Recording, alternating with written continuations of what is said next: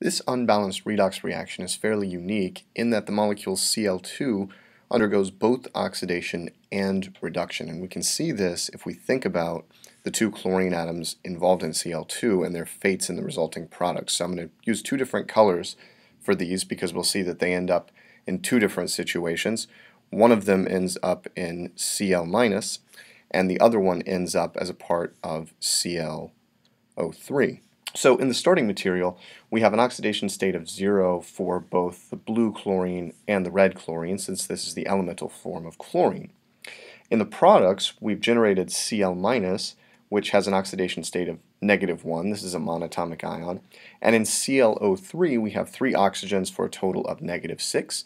The charge on the ion is negative 1, and so chlorine here must have an oxidation state of plus 5. So the blue chlorine here has undergone oxidation, while the red chlorine has undergone reduction. This type of reaction in which a single species undergoes both oxidation and reduction is known as disproportionation. And this term disproportionation comes up whenever equivalent atoms or groups within a molecule split apart and do different things in the course of a chemical reaction. So here it's the two chlorine atoms undergoing two different processes, oxidation and reduction. And we're going to look in more detail at this reaction as an example of how to balance redox reactions in acidic solution. I've reproduced the unbalanced redox reaction from the last slide over here, and we're going to set out to balance this in acidic solution in the presence of H+, plus. that is.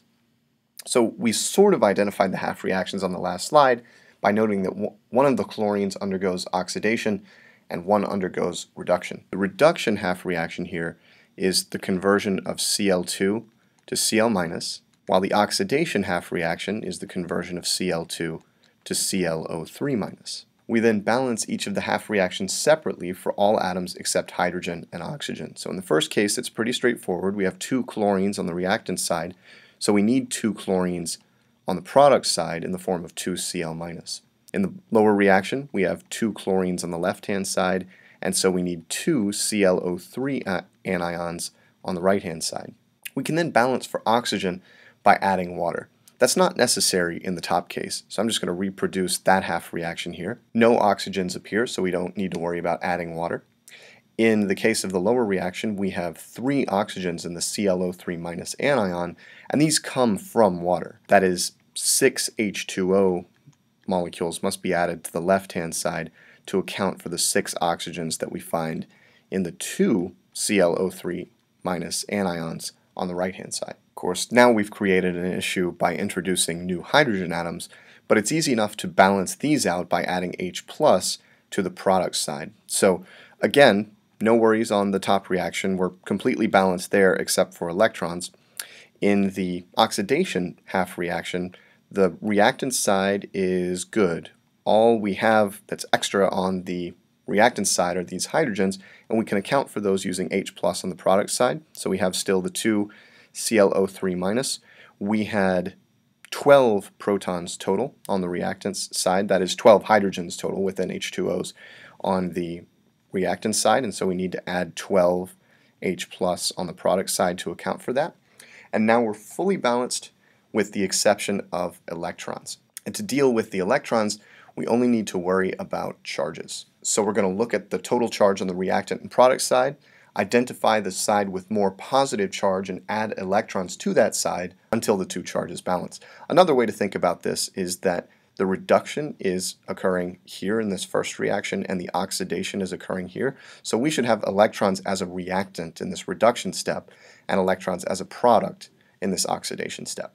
And sure enough, the reactant side is neutral while the product side is negative in this reduction process. And so we need to add two electrons here to account for that so that we have a total charge of negative 2 on the reactant side, negative 2 on the product side. In the reaction below, the reactant side is neutral. The product side has an overall charge of plus 10 since we have two negative charges and 12 positive charges. So we need to add 10 electrons to the product side so that that product side comes out to neutral as well. With those half reactions balanced and written here, now all we need to do is make sure that the number of electrons lost in the oxidation is equal to the number of electrons gained in the reduction, and then just add the two half reactions. So to do that, we see we have 10 electrons released in the oxidation and 2 gained in the reduction. So we need to take this reduction half reaction and multiply it by 5 so that the number of electrons work out. That comes out to 10 electrons plus 5 Cl2 molecules goes to 10 Cl minus ions. And we can now add everything up to come to a final balanced equation. We have 6 waters. We have a total of 6 Cl2 molecules, one from the oxidation and 5 from the scaled reduction. And on the product side, we have 2 ClO3 ions, 10 Cl minus ions, and 12 H plus. It's worth noting that all of these coefficients, all of these stoichiometric coefficients are even, and so we can divide them all by 2 to get to a balanced chemical equation that's sort of the uh, lowest common denominator, if you will. 3H2O plus 3Cl2 goes to ClO3 minus plus 5Cl minus and 6H plus. And here's our final balanced equation. So let's review briefly how we went through this process.